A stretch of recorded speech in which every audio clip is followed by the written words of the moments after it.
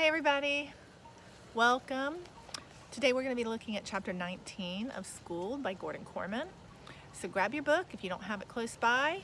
We're going to be opening up to page 120 and we're going to be reading 19, chapter 19 together from Zach Powers' perspective. I saw a show last night with a bunch of scientists arguing over what the signs will be when the world is coming to an end. They talked about asteroids, volcanoes, and melting ice caps. Small minds. When Cap Anderson becomes the most popular happening kid at Sea Average Middle School, that's the end of the world, especially when you consider that the guy he replaced was me. It was all because of that stupid dance. How could a hippie who knew less than nothing about parties organize the middle school bash of everybody's dream? It's your own fault, Lena accused. You recruited half the school to bug him, and he turned them into an army of volunteers. She had a point. With the exception of me and the hairball in chief, everyone was working on the Halloween dance, even the cool people. Daryl was hauling huge rolls of construction paper to the decorations people in the art room. Naomi was designing reflective mobiles to hang from the basketball hoops. Lena was on the committee to cover the bleachers with orange and black bunting. Even cheap paper chains were impressive when you had 1,100 kids stringing them. This is going to be the greatest party we've ever had, Naomi enthused. I'll bet we get a thousand kids. And that's just the planning committee, I added sourly. What's wrong with that? Ignore him, Lena put in. He's in mourning because he thinks Cap stole his year. Our year, I corrected and he's making it into 1967. You shouldn't be so hard on Cap, Daryl told me. Sure, he's weird, but he's the best eighth grade president we've ever had. Eighth grade president isn't a real job, I seethed. It's a joke, remember? Well, maybe it started that way, Naomi said earnestly, but Cap Anderson is the most amazing person I've ever known.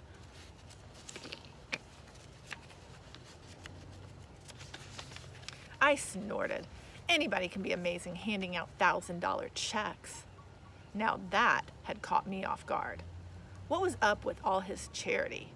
He gave 800 to the food drive in the cafeteria, 500 to cancer research, the same to Alzheimer's disease. They may have called it the March of Dimes, but that didn't stop Cap from forking over 650. He even stuck checks in the slots of those cans designed for people to drop their spare change. Mr. Kasigi had to be behind it somehow. Cap wouldn't be allowed to throw around big chunks of school money without permission from the office. Maybe the whole thing was a lesson about philanthropy. It bugged me. The eighth grade president wasn't supposed to set a good example. His job was to make an idiot out of himself and have a nervous breakdown. But no, the assistant principal had to set Cap up for sainthood. Whatever Kasigi was thinking, if he was thinking, I was the only one paying the price. I was spending more and more of my time arguing with my friends, and all because of that hairball. My year, yeah, right. More like my minute.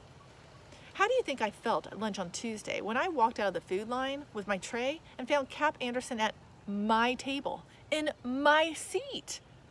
Okay, it was a big cafeteria, but I've been working my way up to that position since the very first day of sixth grade. It hadn't taken me more than 30 seconds to look around the room and know that this was the place where the masters of the universe ate their tuna fish sandwiches. It was near the wall of windows, but not so close as to get too hot on sunny days. Yet, at the end of the period, a shaft of light always seemed to shine down like a spotlight on the person sitting in the end chair. My chair at least until today. Those filtered rays were shining now on the haystack of Sasquatch hair. I stared at Daryl. The gutless wonder wouldn't even look me in the eye. He was concentrating on the exit sign over the door, which may or may not have been a message for me to get out. Naomi was focused on Cap, which meant, no, no, which meant nobody else in the building existed. Lena was the only one with the nerve to face me. Her look plainly announced that not only had I lost my spot, but I wasn't welcome to pull up a chair and squeeze in either. Fuming, I turned away. Crash! It was a tray-to-tray collision. My split pea soup sloshed onto his egg salad sandwich. His tater tots flipped into my banana cream pie. His Snapple tipped over, raining down on my shoes. I stared at the idiot as iced tea soaked into my socks. The last person I wanted to see just then, Hugh Winkleman. He stood frozen with fear, probably straining all those math brain cells to calculate how big a wedgie he just earned himself. Let me tell you, he should have been thinking huge. I had half a mind to stick a booster rocket under his waistband and launch it into orbit. You! And then I took in the expression on his face, and it was like looking in a mirror. He was staring at his hippie friend, who now had no time for him. And I was staring at my friends. Same story. In a way, it was more depressing than anything that had happened so far. I, Zach Powers, had something in common with this loser? That had to be rock bottom. Still, there was only one other person in the whole school who was as disgusted as I was by all this hippie mania. And that person had just dropped his lunch on me. Uh, sorry, he said nervously. I felt an odd rush of emotion. It wasn't affection, trust me.